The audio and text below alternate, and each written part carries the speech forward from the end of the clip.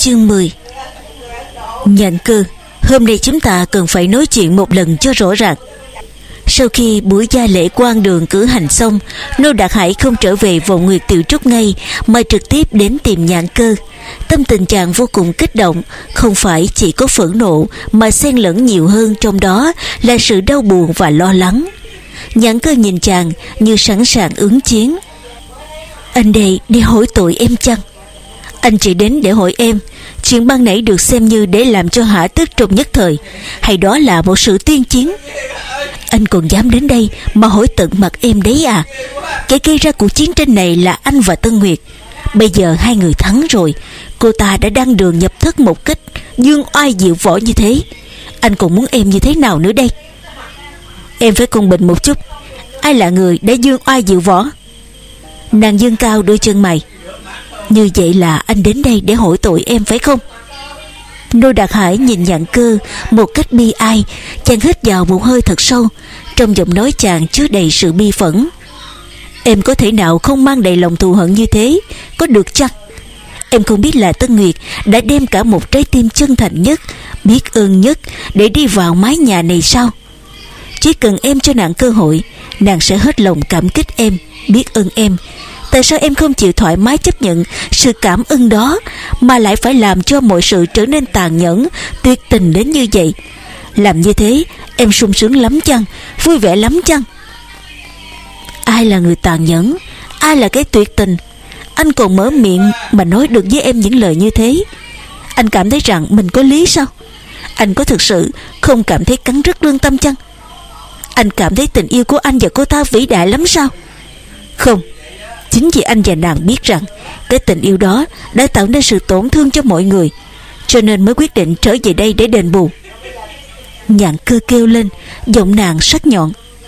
Tình yêu của hai người không phải chỉ gây ra sự tổn thương không đâu, Mà tình yêu của hai người là cả một sự quỷ diệt. Tần Nguyệt tự mình làm cho mình trở thành thân bại danh liệt, Lại còn làm cho dòng họ mang nhục. Còn anh thì sao? Danh tiếng anh hùng bi quý hoài Trong một sớm một chiều. Lại còn làm cho người khác chê cười Là anh không biết chữ tiết khi vào tuổi xế chiều. Còn như cái nhà này, Bây giờ cốt nhục đã ly tán, Vợ chồng thành thù nghịch. Điều đó là do cái mối tình vĩ đại của hai người tạo thành. Anh còn dám đến đây Mà nói chuyện với em chuyện đền bù. Làm sao đền bù? Đền bù như thế nào? Nói một cách khác, Thái độ của em như thế Là không chuẩn bị cùng nhau sống chung hòa bình rồi phải không? Nhà cơ trừng mắt nhìn chàng. Nếu phải thì sao? Anh chuẩn bị bỏ em đi, Để lập cô ta làm nên chính phải không? Nô Đạt Hải nhìn trừng trừng vào một nhạn cơ hoàn toàn xa lạ đến không ngờ. Trái tim chàng cảm thấy như dần dần chìm xuống chìm xuống một đáy vực sâu lạnh lẽo không cùng. Chàng nói bằng một giọng thống khổ vô vàng, nếu như em nhất định phải phân biệt một cách rõ ràng như thế, không phải là bắt anh bỏ em, mà là bắt buộc anh bỏ nhà này để ra đi bắt buộc anh phải ra ngoài thành lập một gia đình khác. Nàng sững sờ nhìn chàng dây lát, từ trong kẽ răng nàng trích ra hai chữ. Xin mời. Chàng trung mình lạnh lẽo, chàng có thể nhìn thấy rõ ràng, từ trong đôi mắt nhạn cơ là một sự hận thù không thể nào giải tỏa nổi. Sự hận thù to tát đó làm cho chàng cảm thấy toàn bộ máu huyết trong cơ thể mình như thể đông lại thành một trụ băng lạnh buốt chàng trở về vọng nguyệt tiểu trúc, nhìn thấy tân nguyệt đang ôm lấy vân na, rớt nước mắt, đau lòng vô hạn nói rằng, xin lỗi em, xin lỗi em. Em đi theo ta bao nhiêu năm nay, Không ngờ hôm nay lại để cho em chịu thiệt thòi như thế này. Vân Na kêu lên một cách kích động, Em chịu một chút thiệt thòi thì có hề gì, Thế nhưng quận chúa thì sao? Quận chúa chuẩn bị sống như thế suốt cuộc đời hay sao? Bạn của Thái tiếp lời một cách thật lớn tiếng, Quận chúa, Cô phải tính toán cho mình mới được. Không thể nào để cho người khác định đoạt vận mạng của mình như thế. Nếu như cứ tiếp tục sống dưới mái nhà này, Cô sẽ bị hiếp đáp Đến không còn một chỗ nào lành lặng không cần phải tiếp tục sống dưới mái nhà này nữa. Nô Đạt Hải khoa chân bước vào, Bằng những bước thật dài. Chàng nắm chặt lấy bàn tay của Tân Nguyệt, Nói bằng một giọng chất nịch. Tân Nguyệt, Anh đã sai lầm. Lẽ ra anh không nên dẫn em đi trở vào căn nhà này. Anh thật sự không hề ngờ rằng Nhạn cơ đã hoàn toàn biến đổi thành một người khác. Sự thù hận thâm sâu như thế, Thật sự đã làm cho anh không lạnh Mà cũng phải rùng mình. Hôm nay, ngay trước mặt anh, Nàng có thể dùng trà tạt vào mặt em, Có thể xuống tay đánh Vân Na. Anh thật sự không thể tưởng tượng được, Ở phía sau lưng anh, Nàng sẽ còn làm những gì đối với em. Do đó, anh không thể để cho em ở lại đây. Ngày mai anh sẽ đi tìm nhà khác. Em hãy cố gắng nhẫn nại thêm vài ba hôm nữa. Chúng ta sẽ dọn ra ngoài ở. Bạn của thái nói Thế thì tốt quá Tôi theo đại nhân đi tìm nhà. Khắc thiện cũng tiếp lời một cách phấn khởi Như vậy tốt lắm, như vậy tốt lắm.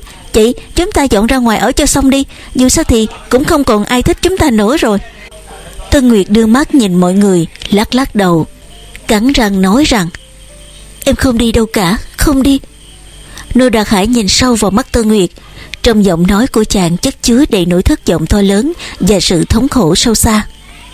Em nghe anh nói đây, Lúc nãy anh đã có đến tìm nhãn cơ để nói chuyện rồi. Đừng hỏi anh nội dung như thế nào, Em sẽ không muốn nghe đâu. Dù sao thì tóm lại chỉ có một chuyện. Chuyện cùng nhau sống chung hòa bình Là chuyện không thể nào có được. Nếu như nói rằng chỉ có Dược Viễn và Cát Lâm Mang đầy lòng thù nghịch Thì cũng không sao. Ít nhất anh cũng biết rằng Chúng nó không thể làm gì em, Và cũng không dám làm gì em. Thế nhưng, nhãn cơ thì lại khác. Nàng có thể làm gì em, Và cũng có thể dám làm gì em. Tân Nguyệt yên lặng nhìn chàng, Hít vào một hơi thật sâu. Khi còn ở Vua Sơn, Em đã thuyết phục được anh Không cầu cùng chết, Chỉ muốn cùng sống. Lúc đó em quả thật có hơi tham sinh ý tử, Tại vì sự cùng sống với anh lúc đó Quả thật có một sức hấp dẫn quá mãnh liệt. Đợi đến khi anh bị em thuyết phục xong rồi, Em đã tự thề nguyện với chính mình rằng Em sẽ vì những ngày tháng có thể chung sống yêu thương nhau này Trả bằng mọi giá. Em trân trọng từng ngày có thể cùng anh chung sống bên nhau, Mà trời cao cũng đã thương Mà ban cho em cái ân huệ này. Em không thể vì một chút trở ngại và sỉ nhục mà rút lui. Bây giờ em giống như là một kẻ xâm lăng. Em đã giật lấy anh từ trong tay của nhạn cơ, Trên tay của những đứa con của anh, Nên họ mới hận em như vậy. Thật sự họ càng hận em, Điều này chứng tỏ rằng họ yêu anh càng nhiều. Nụ Đạt Hải, Em yêu anh đến như thế này, Làm sao em lại có thể ghi chiến với một lực lượng khác cũng yêu anh như thế? Bây giờ tất cả mọi người ở bên đó Đều không hiểu được tâm trạng của em. Em sẽ không giật mất anh. Em chỉ muốn cùng với mọi người Đều có anh. Do đó, em không thể bỏ đi. Em muốn ở lại đây Để cho mọi người hiểu được chuyện đó. Em đừng có điên rồ như thế. Bọn họ đã cho em là một người xâm lấn, Một kẻ phá hoại. Còn anh là một người bất trung, bất nghĩa, bất nhân. Không có một ai trong bọn họ Muốn cho chúng ta một cơ hội cả. Thế nhưng còn anh thì sao? Anh cũng không muốn cho họ cơ hội để hiểu chúng ta hay sao? Giờ này lúc này, Nếu như em theo anh ra đi, Thì anh sẽ mất gia đình anh vĩnh viễn. Làm sao em có thể yêu anh một cách ích kỷ như thế được? Đó mới thực sự là làm cho trời đất không dung. Hôm nay, Tuy rằng mọi người đều rất giận rất ghét em. Thế nhưng, mẹ lại rất nhân từ đối với em. Điều này làm cho em vô cùng cảm động. Cô như gì mẹ, Em cũng không thể để cho gia đình của bà tan dở. Tân Nguyệt, Chúng ta ra lập một gia đình mới, Có thể rước mẹ đến ở với chúng ta. Điều đó không thể nào như cũ được. Căn nhà này là sản nghiệp mấy đời của nhà anh để lại. Mẹ sẽ không dễ dàng bỏ ra đi đâu. Nếu như em lấy anh Mà tạo nên sự chia lìa trong gia đình anh, Thì em cũng sẽ không tha thứ được cho mình. Em và anh Suốt cuộc cũng đã được má tựa dai kề Sớm hôm gần gũi nhau. Cái cảm giác hạnh phúc mà em có quá mạnh mẽ. Trên cõi đời này Không có gì tự dưng mà đến với mình. Nếu như chúng ta muốn nắm lấy niềm hạnh phúc đó Thì chúng ta cần phải nhịn nhục, nhẫn nại. Không phải chỉ một mình em mà cả anh nữa. Nếu bình tâm mà xét Thì chúng ta quả thực đã có lỗi với nhạn cơ Có lỗi với dực viễn Và có lỗi với mỗi một người trong gia đình này. Như vậy thì cho dù có bị chút dày dò, Đó cũng là một sự trừng phạt Mà chúng ta sẽ phải chịu.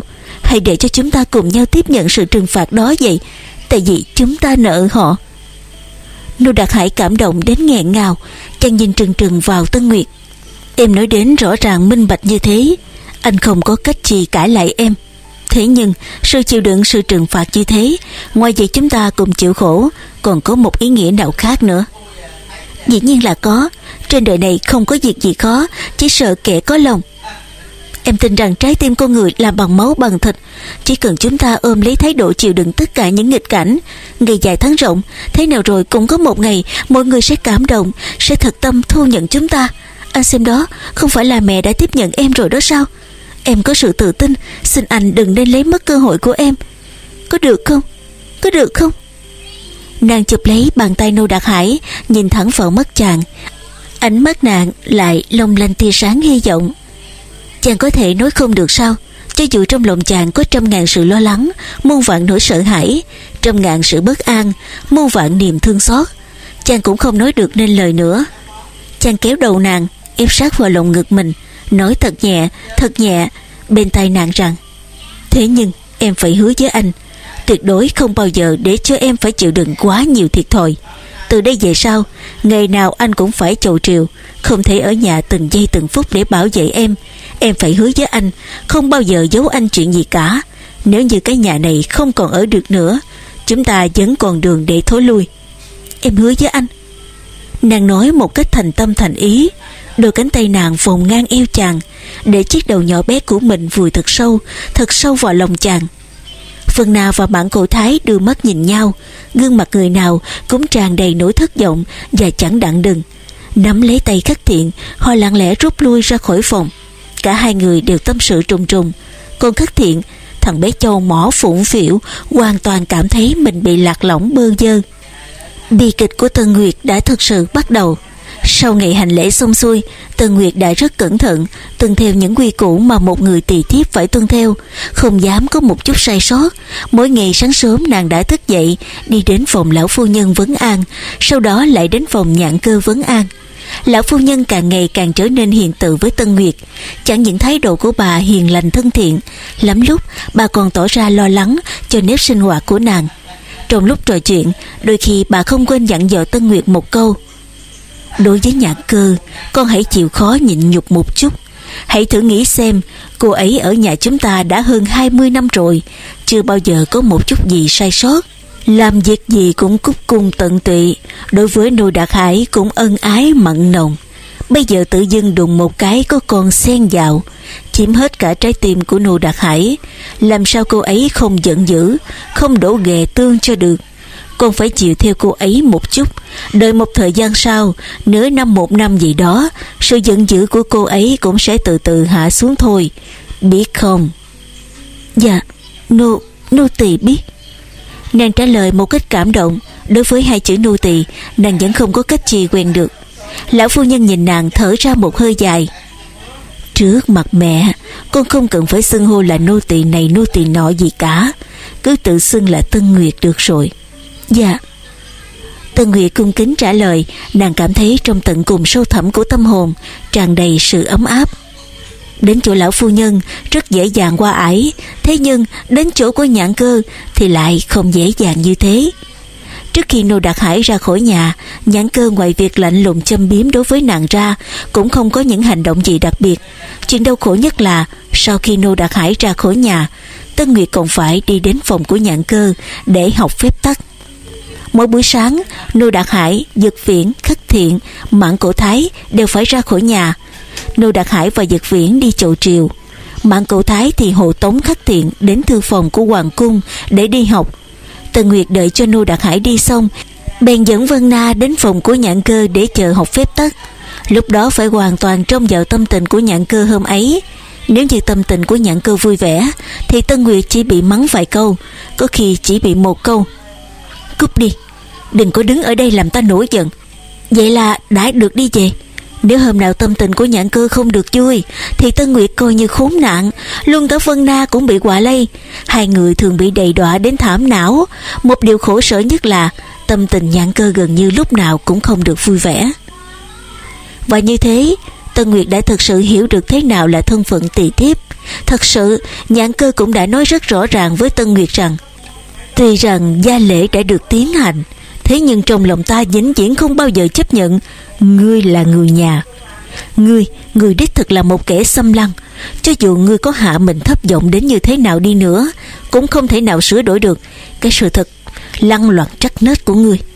Đừng nên lấy cái hành động phóng đạn đó của nhà ngươi Làm hãnh diện. Ngươi chẳng những là một sự sỉ nhục của Nô Đạt Hải Mà còn là một sự sỉ nhục cho cả gia đình nhà ta. Đối với sự sĩ vả như thế, Bao giờ sắc mặt của Tân Nguyệt cũng trắng bệch. Nàng cố gắng chịu đựng, Nhịn nhục tối đa. Có một lần, Nàng thật sự không nhịn nổi nữa, Bèn trả lời lại một câu. Xin phu nhân cho tôi có được một cơ hội. Xin hãy nghĩ đến lòng dạ chân thành của tôi. Mà tha thứ cho tôi được nhờ. Tôi đối với Nô Đạt Hải, Thật sự là gì không thể kiềm chế được. Không thể kiềm chế? Thế nào gọi là không thể kiềm chế? Cơn giận của nhạn cơ nổ bùng lên. Nàng thuận tay cầm lấy cái nghiêng mực trên bàn, Ném mạnh về phía Tân Nguyệt. Cũng may là Vân Na đã đưa tay ra kéo nàng thật nhanh. Nghiêng mực, Tuy rằng không trúng được Tân Nguyệt, Thế nhưng lại bay vút đến chiếc kỹ trà gần đó, Va vào chiếc bình hoa Thuộc loại đồ cũ để trên bàn, Bể tan nát ra thành từng mảnh vụn. Một loạt tiếng loan xoan vang lên thật to, Nghe thật kinh hoàng. Tân Nguyệt và Vân Na vội vàng bò lê bò càng dưới đất, nhặt những mảnh vụn lên. Nỗi bực tức trong lòng của nhãn cơ vẫn chưa hạ. Nàng tiến lên phía trước, giơ chân đạp Tân Nguyệt một cái. Không thể kiềm chế là đồ hạ tiện, là thứ dâm ô. Nhà ngươi đã không biết xấu hổ mà còn dám trả treo với ta.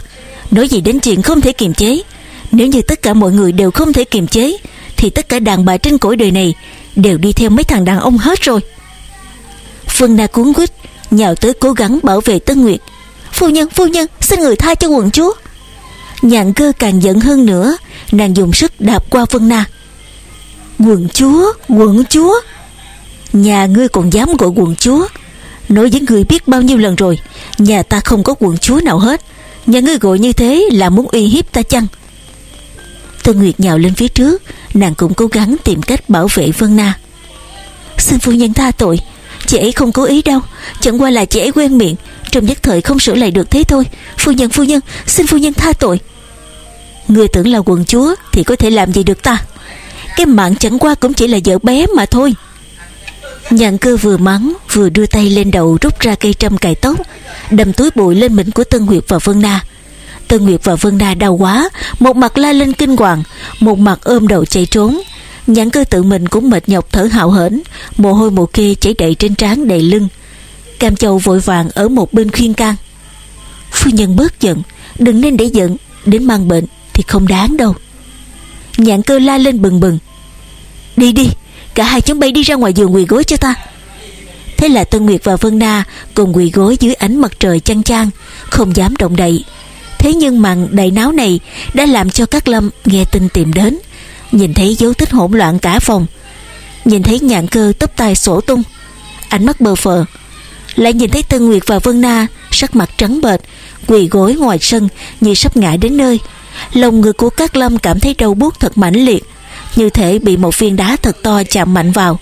Nàng đứng vịnh vào cạnh cửa, hết nhìn nhạn cơ, lại nhìn sang Tân Nguyệt và Vân Na cuối cùng, nàng không nhịn được, nói với nhạn cơ rằng, mẹ, để cho họ đi đi, Đừng nên làm chuyện lớn, Đối với mọi người đều không tốt. Nhàn cơ lúc này mới chịu dịu lại. Nể tình các lâm, Bọn chúng bay cút đi mau cho khuất mắt ta. Tân Nguyệt và Vân Na Cùng dịu nhau đứng dậy. Trong mắt của cả hai người đều đông đầy lệ. Tân Nguyệt dội vàng liếc nhìn các lâm một cái, Không nói một tiếng nào, Đã dẫn Vân Na đi thẳng. Các lâm bất giác bước theo hai bước, kêu lên. Tân Nguyệt. Tân Nguyệt dồi dàng đứng dừng lại, Quay đầu nhìn các Lâm. Ánh mắt nàng đông đầy niềm hy vọng Và khấn cầu một tình bạn. Nàng cất tiếng kêu một cách chân thành và cảm kích. Các Lâm, cảm ơn chị. Lòng người của các Lâm lại bị chạm mạnh vào một cái. Nàng không thể phản bội mẹ mình, Nàng không thể thương hại Tân Nguyệt. Nàng chổ môi, Nói như đang giận dữ. Đừng nên cảm ơn tôi Tôi Tôi chỉ muốn nói với chị là, Đừng nên nói gì trước mặt cha tôi. Cái nhà này đã không còn giống cái nhà nữa rồi, Không chịu đựng nổi những phong ba bão táp khác nữa đâu. Tân Nguyệt nuốt ực vào một hơi, Vừa thất vọng, Vừa lạnh lẽo, Vừa đau khổ. Nàng cố gắng kèm giọng run run. Chị yên tâm, Tôi sẽ không nói một tiếng nào hết. Nói xong, nàng quay người lại, Bước đi thật nhanh. Các lâm đi vào phòng mẹ, Nhìn thẳng vào nhạn cơ, Tiếp xúc với ánh mắt của nhạn cơ đã nói bằng một giọng tự vệ chống đỡ. Có phải là con cảm thấy mẹ rất tàn nhẫn, rất đáng sợ? Các lâm kêu lên một tiếng, mẹ mẹ không có cách nào khác. Mẹ giận quá sức. Mẹ thật sự hận quá sức.